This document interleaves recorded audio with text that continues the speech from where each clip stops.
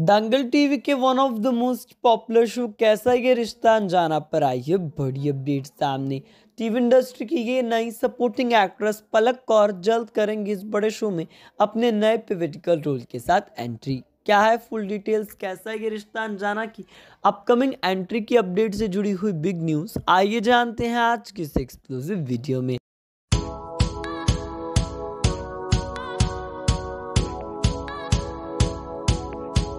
Well आपको बता दें, लंबे वक्त से पॉपुलर शो कैसा ये रिश्ता अनजाना जो कि लगातार अपनी लो रेटिंग्स के कारण चर्चा का विषय है।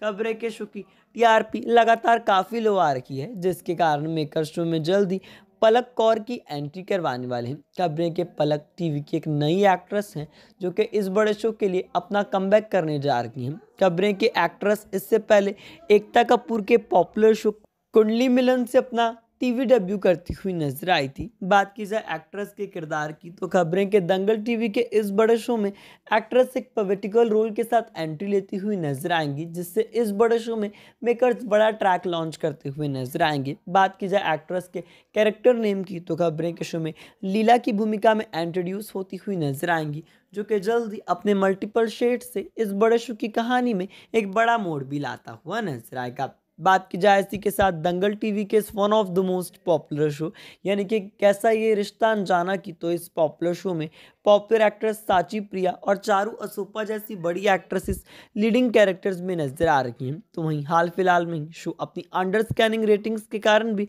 लाइमलाइट का विषय बना था। अब देखना इंटरेस्टिंग रहेगा कि मेकर्स किस तरीके से इस बड़ी एक्ट्रेस की एंट्री से दंगल टीवी के इस बिग शो में एक मेजर कैरेक्टर को लॉन्च करते हुए नज़र आते हैं। वेल आपका क्या विचार है दंगल टीवी के one of the most popular show Kaisa Ye Rishta, अनजाना की अपकमिंग एंट्री को लेकर? अपना ओपिनियन शेयर कीजिए नीचे कमेंट सेक्शन में। इस वीडियो को लाइक कीजिए और चैनल को सब्सक्राइब कीजिए। इस बड़े से की हर छोटी बड़ी अपडेट के लिए। Thank you